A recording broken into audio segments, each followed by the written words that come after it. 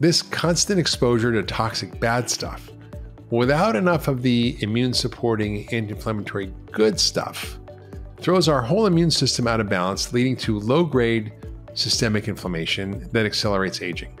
We call this inflammaging. Welcome to Doctor's Farmacy and another edition of Health Bites. I'm Dr. Mark Hyman.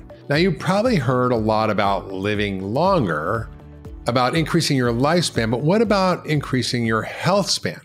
That's the quality of life you enjoy during those years. It's not just about adding years to your life, but life to your years. And let's face it, who doesn't want to feel young and vibrant for as long as possible? I certainly do. Now, some of you might be thinking, aging, eh, that's decades away from me, or eh, chronic disease is something older people worry about. But here's the truth the signs of aging and chronic diseases can begin much earlier than most of us expect. And the foundation you built with your health today sets the stage for how you age tomorrow.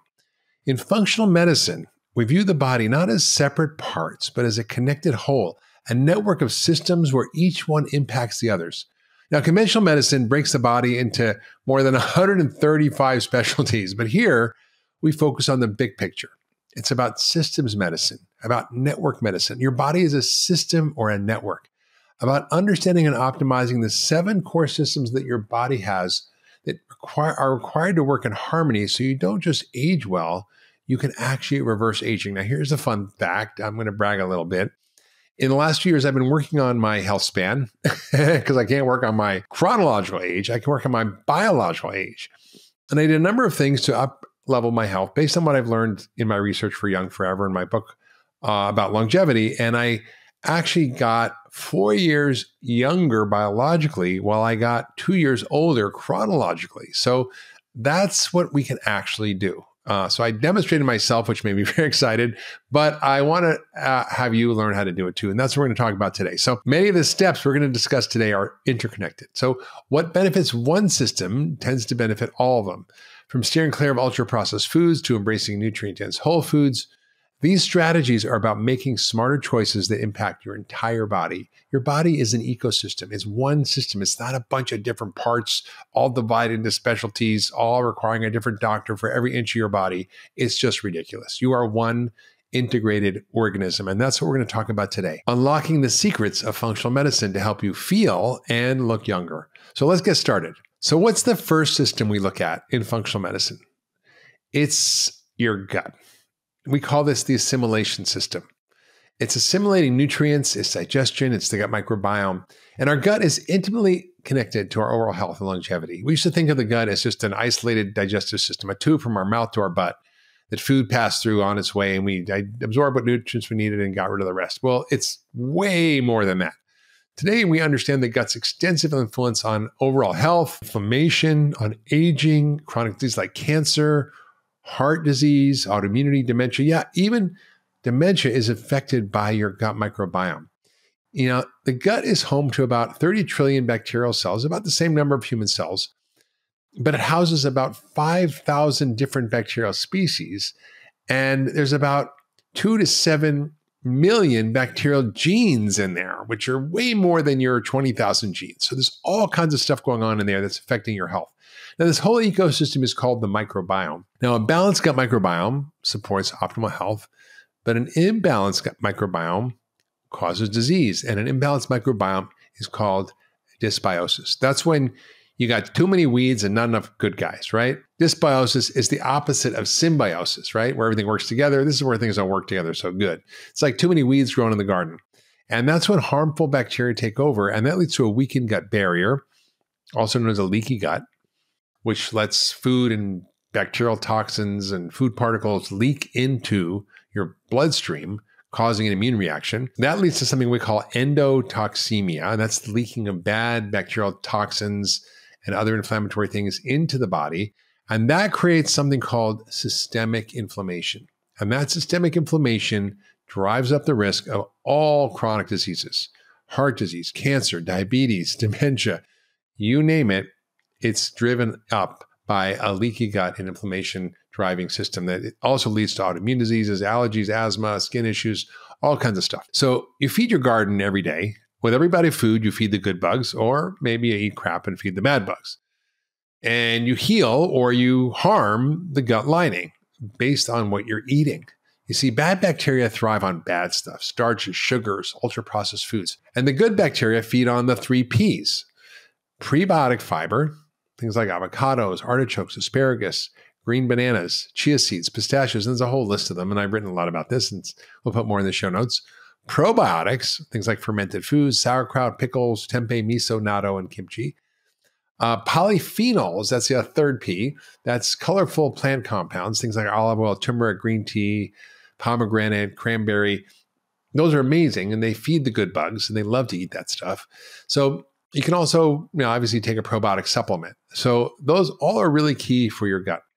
Now, I, I actually had ulcerative colitis. I had a horrible gut issue after taking an antibiotic. I'm, you might have heard me talking about this, and ended up with C. diff and C. diff colitis, and then colitis, and the C. diff went away, but I still had colitis, and I was a mess. And I developed a product that I actually used to cure myself, which included all the three P's: prebiotics, probiotics, and polyphenols. And it's called Gut Food, and I've used it for myself and my patients with great success. Now, certain bacteria have anti-aging effects. Um, they produce postbiotics. Now, what's a postbiotic? A postbiotic is essentially something that bacteria makes that's then released into the gut or absorbed into the body that has an influence on your health. And and there's a really important one called butyrate that keeps inflammation low and it also protects against cancer and chronic diseases. And it's basically the fuel for the intestinal lining. Longevity is, is also, I think, best achieved from the inside out. It's it's not putting stuff on your skin and getting facelifts and laser and plastic surgery because that's a losing game. You want to get healthy and young from the inside out. Uh, and that's really what we do in functional medicine. So once we fix our gut, meaning the inside, we fix everything else too our skin, our mood, our brain health, cognition, joint pain, and inflammation. So, tending your inner garden, fixing your gut, learning how to take care of your gut, what causes it to be messed up and what causes it to heal is really important. So, that's a core life skill like anything else, like driving your car, using your iPhone, uh, basically making your bed. It's just one of those things you have to learn how to do. And it's not that hard. The next system we have to think about, and these are, by the way, these are seven core systems in functional medicine. We talked about these, these biological networks or interrelated systems that all influence one each other. They're not really separate. They're dynamic and connected. They're like a web. So like I said, you know, 60% of your immune system is in your gut, right? But it's your gut. Well, uh, what about your immune system? Well, it's all connected, right? So the second system, we we just talk about these as separate things in order just to discuss them and help you differentiate what's going on, but they're not really separate. The next one is defense and repair. This is our immune system, our inflammatory system. And inflammation is important. Like we want to get inflamed if we have a sore throat or we sprain our ankle so we can bring in white blood cells and heal and repair and all that stuff is great. But when it's out of control, that's not good. So inflammation is a really important function of the immune system. It helps protect us against infections, viruses, bacteria, heal injuries. The problem is that inflammation in our modern lifestyle has gone rampant. We're overloaded with all sorts of inflammatory triggers, ultra processed diets, which is the worst. They're high in starch, sugar. Those spike our blood sugar, they spike insulin levels. And high insulin levels drive insulin resistance, and that drives more inflammation. It's a vicious cycle. The next thing that drives inflammation is environmental toxins, things like heavy metals like mercury or lead, um, lots of plastics and petrochemicals, PCBs, uh, phthalates, uh, BPA, um, all kinds of PFAS chemicals that are in pretty much everything, the forever chemicals. Those are all driving inflammation a microbiome that's out of balance is a huge driver of inflammation. We just discussed that. So, bad gut bugs and even stress is an inflammatory trigger. Now, stress includes physical trauma like accidents or ultraviolet radiation. It includes uh, electromagnetic frequencies and even psychological trauma, obviously. Uh, and that can really be the result of abuse or neglect. And that has a physiological effect on your body that drives inflammation. So, we have so many things that cause inflammation. And we don't have enough of the things in our life that protect us against inflammation. So we want to start to eat an anti inflammatory, whole foods, phytonutrient rich diet. We want optimal levels of vitamins and minerals, exercise, sleep, relaxation, love, community, meaning, and purpose. This constant exposure to toxic bad stuff without enough of the immune supporting anti inflammatory good stuff throws our whole immune system out of balance, leading to low grade systemic inflammation that accelerates aging. We call this inflammaging. Now, this results in DNA damage, including shortening of the telomeres and cellular damage. And that forms senescent cells, or we call zombie cells, half alive, half dead cells that secrete all these pro inflammatory cytokines. And that leads to more inflammation and faster aging of our organs and tissues. And it shows up as damage to our skin, wrinkles, uh, it damages our muscles, causing sarcopenia, our joints, leading to arthritis and joint pain, our blood vessel lining called our endothelium, which leads to atherosclerosis or hardening the arteries or plaque in your arteries, leads to heart attacks, neuroinflammation, which can cause dementia, Alzheimer's, and depression, insulin resistance, which lead to diabetes and cancer. All this is affected by all these triggers. And so we're kind of in this vicious cycle of inflammation that's accelerating our rate of aging. In fact, the whole process of aging is sometimes called, called inflammaging. Now, here's something that might shock you. I've measured biological ages in people who are in their 30s and 40s who are biologically a decade or two older inside their bodies than their chronological age. And it's for sure an eye opener. And I mentioned I'm 39 biologically, even though I'm 64 chronologically. Well, that's good for me, but not for everybody else who's uh, aging faster. So the good news is if you know what to do, you can get a handle on it. Now, you can get your inflammation level checked by your doctor, or you can put the data in your own hands using full service testing platform like the one I co-founded called Function Health. Um, it's a modern healthcare company that gives you access to the first ever 100 plus lab test for less than 500 bucks a year with insights from top specialists and myself, obviously. And there's no doctor's appointments, there's no health insurance needed, just you completely in charge of your own health and the knowledge to help avoid disease and vastly improve the quality and length of your life. Now, I help build Function Health to make low cost, comprehensive testing available to everybody. We're very mission oriented with a very long term perspective 100 years to be exact. we want everybody to live 100 healthy years. So you can check it out. You can sign up and jump the wait list by going to functionhealth.com forward slash mark. Now, what are the strategies to reduce inflammaging? Well, first, get rid of the bad stuff, right? Eliminate sources of chronic inflammation like ultra processed food, sugar, starch, often gluten, conventional dairy, alcohol, refined oils, and excessive snacking, all bad for you. Try to reduce your exposure to environmental toxins like heavy metals, BPA, phthalates, parabens. Make sure you don't get any mold exposure in your house. Uh, focus on eating good stuff, right? Eat a whole foods pegan diet. I wrote a book about it. Check it out. We'll put it in the show notes. But it's basically joke between paleo and vegan, but it's just real food, uh, whole food, low glycemic food, lots of colorful plant foods for gut and immune support, phytochemicals that are great for your immune system, like turmeric, ginger, leafy greens, like the bro- broccoli family, cauliflower, cabbage, bok choy, Brussels sprouts. All those are incredibly helpful and anti-inflammatory and detoxifying good fats, right? Uh, olive oil, avocados, nuts and seeds, uh, omega 3 fats, uh, wild caught, low mercury fatty fish is really important, um, like sardines, mackerel, anchovies, and herring. Flax seeds are great. Pasture aged eggs can be great sources of omega 3s. What's the next system? Well, the next system is about biotransformation and elimination, also known as detoxification. Now, this is a normal process in your body. Now, the term detox often brings up all sorts of stupid things like fad diets or maybe rehab from alcohol.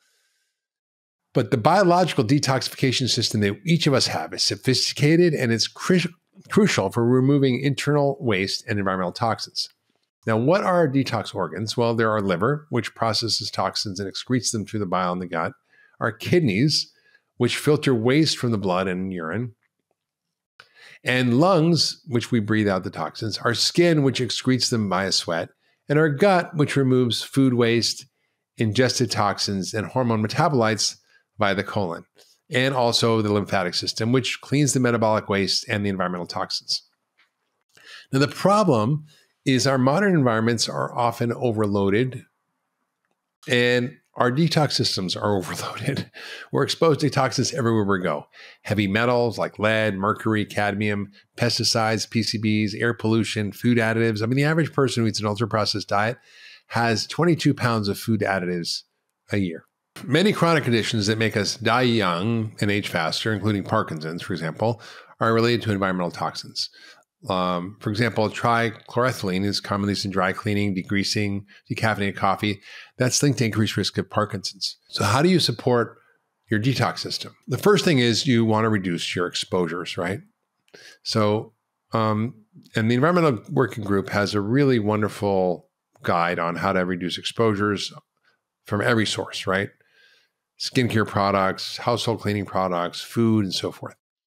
But you also need to learn how to fix your own detox system. I call it the P4 system or the 4P system, right? It focuses on enhancing the body's natural detoxification systems. The first step is to enhance your liver function, and that's how it processes toxins. That's the first P. So, how do you enhance your liver's detoxification system and help its ability to process toxins? Well, eat a lot more of the cruciferous vegetable family. They're my go to. That's broccoli, cauliflower, kale, cabbage, arugula, collards, kohlrabi, Brussels sprouts. All those foods are rich in something called glucosinolates, which is a precursor to something called sulforaphane, which is a powerful detoxifying compound and it boosts glutathione. One of the most powerful foods that does this is broccoli sprouts. Uh, and you can get those in some stores. You can make them yourself. The other thing you can often use is whey protein, particularly goat whey, because whey protein does increase glutathione and has a lot of amino acids that are needed for detoxification. You also need a lot of nutrients to metabolize your toxins, things like folate, zinc, selenium, magnesium, manganese. You need all the methylating B vitamins, folate, B12, B6. Um, and you need these are all cofactors that basically power all those detox enzymes that are processing all the toxins. So eating a whole foods diet, taking a multivitamin mineral, that'll help fill any nutrient gaps and get you most of the way there. What about protein? Protein's important because one of the major pathways, well, many of the major pathways, in fact, are reliant on amino acids to properly detoxify, like glycine conjugation, glucuronidation, so forth. And these are these are basic biochemical steps that require the right amount of amino acids and protein. And I, encourage people generally who are um, trying to stay healthy and keep muscle is to eat 0.7 to 1 gram of, per pound of ideal body weight of protein. The beautiful thing about um, protein is it's full of other good things like B vitamins, amino acids, glycine, taurine, cysteine, methionine, all critical. But methionine is important for making glutathione. Uh, glutamine also um, is important for making uh, uh, glutathione as well. So it's really important to make sure you're you're taking the right proteins to boost your detoxification pathways. Okay, what's the next key core system? Well, it's our communication system. This is called the communication system, but it's, it's the network of messenger molecules in your body. It's your hormones, neurotransmitters, it's all your cell signaling molecules or cytokines. And there's all these peptides. Everything's just running around sending message everywhere. And these messenger molecules, including what I mentioned, the hormones, neurotransmitters, peptides, and lots of other cell signaling molecules, they really are required to help us maintain optimal biological function. Now, when these messengers are balanced, your health is good. And when they're imbalanced, you get problems with your health, right? And aging typically brings about hormonal changes that are commonly affecting our hormones, like insulin resistance or prediabetes, low thyroid function, higher cortisol levels, decreased sex hormones like testosterone in men and estrogen and progesterone in women, decreased growth hormone, and even altered neurotransmitters and more cytokines. So just because it's common doesn't mean it's normal. Insulin resistance is the biggest hormonal disorder we face. It probably affects 9 in 10 Americans. The root cause of inflammation is insulin resistance. And it's also the root cause of chronic disease, of sexual dysfunction, of worsened perimenopause and menopause symptoms, hot flashes, mood swings. And too much insulin causes stubborn belly fat. It's just bad. What else can balance your hormones? Exercise, because it just balances everything. Alcohol definitely messes up hormones, and just drinking alcohol will increase estrogen levels and it'll also have negative effects on hormones in many many ways. Um, so you don't want to be drinking actively and it's not good for your health. It's you know a recreational drug occasionally is fine but it's really quite quite um, clear that the data does not support alcohol for any health benefits just to be clear. Um, actively managing your stress is important and not with drugs but things like adaptogens rhodiola ashwagandha um, ginseng siberian ginseng all can be helpful. Um, theanine is an amino acid that can be helpful. Um, also, sleep, getting your sleep sorted really helps your hormones. Wake and sleep at the same time every day. Um, get morning sunlight. Don't get blue light at night. Maybe if you're struggling with hormones, you might need bioidentical hormones for men or women. Now, there's synthetic hormones, there's animal derived hormones, but it, those gave hormone replacement therapy a bad rap due to its uh, link to high risk of heart attacks, inflammation, stroke, weight gain, and cancer. But bioidentical hormones, topical bioidentical estradiol, progesterone, even vaginal estradiol, or low dose or topical testosterone, or men can take intramuscular, even oral, they're better tolerated. You want to basically do the lowest dose possible and for the shortest amount of time possible. But bioidentical hormones can be an important part of a optimal health regimen. The next system is optimizing circulation and blood flow. Uh, we call this transportation. Our body contains about 100,000 miles of blood vessels, enough uh, to go around uh, the earth about two and a half times. Uh, the lining of the vessels is called the endothelium.